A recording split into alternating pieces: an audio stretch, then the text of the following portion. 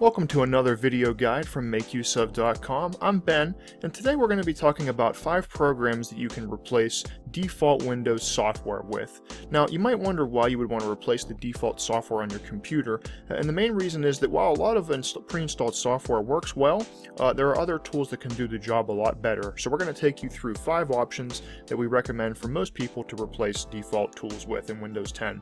The first one's Microsoft Edge. So Microsoft Edge has gotten a lot better since Windows 10 launched. As you probably know, it was the successor to Internet Explorer. Uh, and while Edge does have some decent features, it has extensions, it has some options, uh, and there, there is a mobile version. For most people, we do recommend Google Chrome as a replacement. So this is the most obvious one. You're probably familiar with Google Chrome and use it yourself. But Google Chrome has a lot more features than Edge. Uh, we've covered some power user features uh, of the app on the site. Um, it has a lot better syncing with mobile devices, so if you use Chrome on your uh, iPad or iPhone or your Android device, you can pick up where you left off both ways. Um, Chrome also has a lot more um, extensions than Edge does, so really it just has a lot more options for power users. So we definitely recommend Chrome unless for some reason you really love Edge um, and you want to be uh, linked into Microsoft's ecosystem that way. Um, our, our, second tool is uh, Windows Media Player is the one we're going to be replacing. So Windows Media Player is still around in Windows 10. Uh, it's kind of been hanging on by a thread since Windows 7. Microsoft hasn't really updated it. You can see it still kind of has that same look.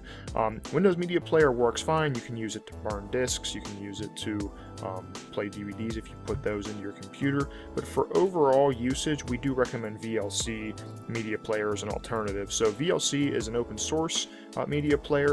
It's really great because it's sort of a Swiss Army knife of, of media players, so it kind of, it pretty much plays anything. So if you have a, some video in a weird format from an old cell phone, or maybe something that was created on a Mac that's not in a a format that your Windows computer can read by default. VLC can pretty much play anything. Uh, VLC also has a lot of uh, tricks up its sleeve, so you can play DVDs right on it. Um, you can use it as a media library for your home network. So VLC is free, it's open source, it's pretty much a no-nonsense video player that works when you need it, and there's a lot more uh, hidden tricks to check out uh, if you want to dive into that. Our third tool we're going to look at is uh, Microsoft Paint.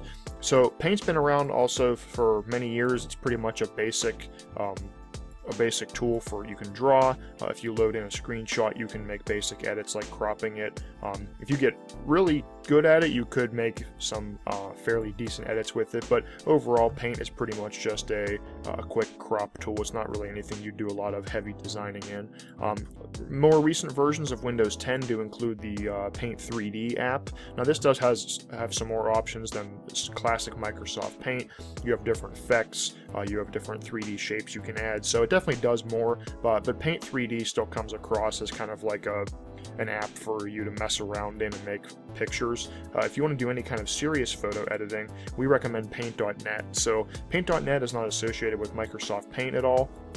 Uh, it's just a free uh, photo editing app that has a lot more uses uh, than Paint 3D. You have uh, layers, you can make different adjustments to the colors, you can use uh, effects to blur out information uh, or add noise or anything like that.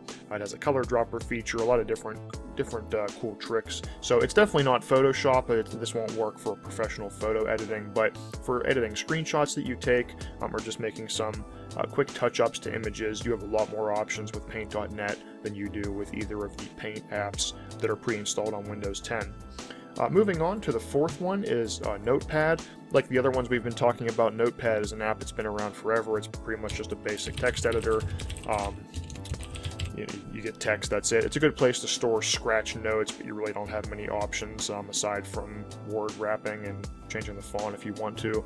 Um, one of the most annoying things with Notepad is that when you use the Control Backspace shortcut, um, which normally in Windows deletes an entire word instead of deleting letter by letter, um, it just gives you this weird character, um, which is just because Windows doesn't know how to encode what you're typing. So, if you are like me and you use that shortcut all the time, you'll probably prefer an alternative, uh, Notepad++. Which is not related to Notepad at all. It's a very, very, very souped up version of Notepad. Um, it blows uh, Notepad out of the water. You can change uh, the encoding options. You have all kinds of options for how you want it to display. You can change the theme. Um, Notepad++ is aimed at programmers, so if you come up into the language tab, you can go into the language you're using and choose you know, C++ or whatever, and then it will spell check, or not spell check, but it'll format correctly when you use brackets and um, keywords and things like that. So it is aimed at programmers, but it's really useful for just people using it as a quick text uh, notepad as well. It has multiple tabs, which lets you keep documents open uh, side by side, and it also will keep your notes. So if you type something and don't save it and you close the program, it'll still keep it open for next time you use it. And it even has a ton of plugins you can add, like a spell checker and everything else. So for programmers or just anyone who uses Notepad for quick notes, you definitely need to check out Notepad++ as an alternative. And finally, uh, we're going to look at the Windows snipping tool and what you can replace that with. So the classic method of taking a screenshot in Windows has always been to press, press the print screen key and then paste it into Paint, um, which is a little clunky. So a couple versions of Windows ago, Microsoft introduced the snipping tool. It's a pretty basic screenshot. Cool, you click New, you click and drag where you want to take a screenshot of, and then you get a little basic editor where you can um, use a highlighter or use a pen to circle items or whatever. Um, it's pretty simple, and it does have a link to open in Paint 3D. Um, but if you're if you take screenshots with any frequency, we definitely recommend ShareX. So ShareX is a really powerful screenshot tool, probably the best you can get for free. Um, Snagit is a really well-known screenshot tool, but that costs uh, about $50 a year, so we don't recommend that unless you need it. But uh, ShareX is really powerful, so it has all kinds of different options for capturing. Uh, you can capture full screen, you can pick a specific window. If you're using multiple monitors, you can just pick one of those. Um, it even has scrolling capture, which is a feature that you don't see in too many other screenshot tools. That allows you to capture a web page or something else that's longer than your screen uh, by scrolling through it for you and then capturing it all at once. But it's not just that. Uh, ShareX, aside from capturing options, uh, it also has upload options, so you can upload uh, to various places. Um, and the really cool thing that it has, aside from the, oh, the editor, that's not what we wanted, um, if we go in here and edit the image, um, it has a lot of different options way more than uh, than the snipping tool. Uh, you have stickers, you have highlighters, you have things like steps that are good for um, for showing someone a screenshot. You can say this is step one, step two, step three. So you have all that. And then the other really neat thing about ShareX is that it has workflows and these after capture tasks. So you can, if you do the same thing every time you take a screenshot, you can set, set ShareX to say, okay, every time I take a screenshot, I want to copy it to my clipboard, and then I want to save it to a file, and then I want to open it in the editor so I can make changes to it. So that saves you from doing really repetitive work every time you take a screenshot.